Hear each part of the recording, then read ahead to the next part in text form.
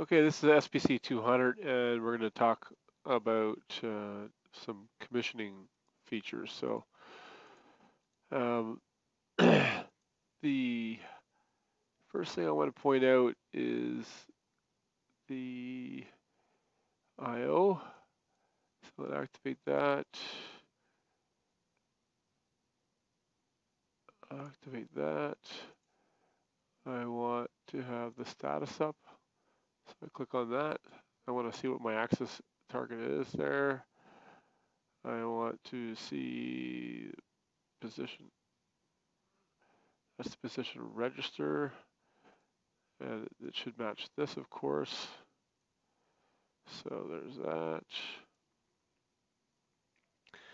And over here on the right is the program here. And I'm going to show how to step through the program. So for debugging, commissioning purposes, you know, you're going to step through your code. And uh, how we do that is we go to control axes. and you pick a program. So I'm going to pick program zero, which is the program I have open here. Observe the warnings.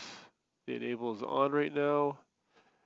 You can see that I've got input 7 and 9 both on, which is the stop and the enable that allows me do this. So if I take the stop off, you'll see that I lose the stop. It's still ready, but you won't be able to execute anything. Um, if I drop the enable, you will see that uh, we've lost the uh, ready down here. Turn it back on and it's back to being ready. I've already done a static and a, and a, dynamic identification, which is why we have two, two greens down here. Okay, so in here, um, we've got uh, our program here. So you either right click and say execute step, or you could use the buttons at the top here to do a bunch of things. Um, you can start continuous, so just go back and forth, but uh, typically you wouldn't want to do that. You want to uh, either hit this button here and it executes that step. So we did a G1, which is this one right here, move to position at defined speed. So we told it to move to position 50, X50, uh, at, you know, 80 for velocity. And I can just keep, when I click in here, that's when the buttons become active. So I just keep clicking this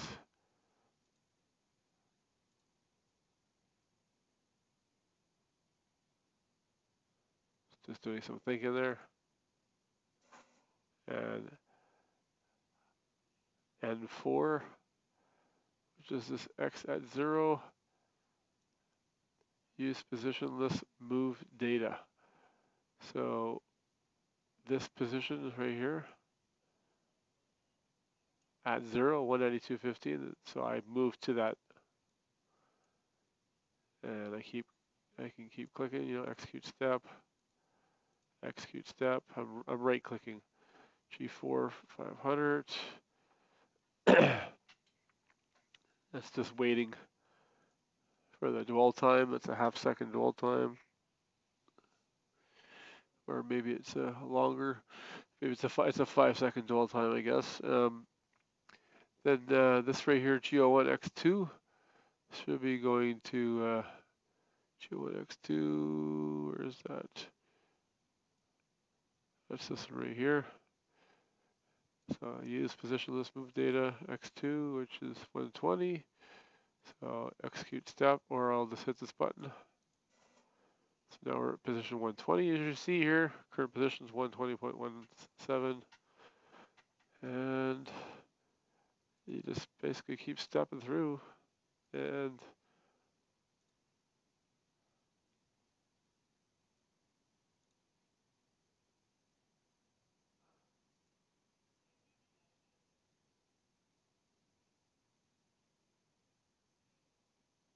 start continuous. So now it's just going to execute itself. If I want to stop that, I would use the stop button.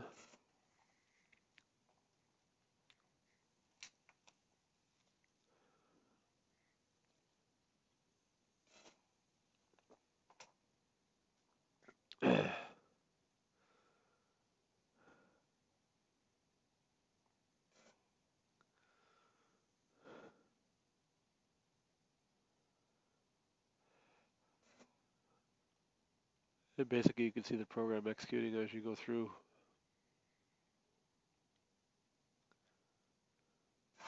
And it starts over. And it continues to go. So if I want to stop it, just click on the stop and it stopped. So I think the rest is pretty much uh,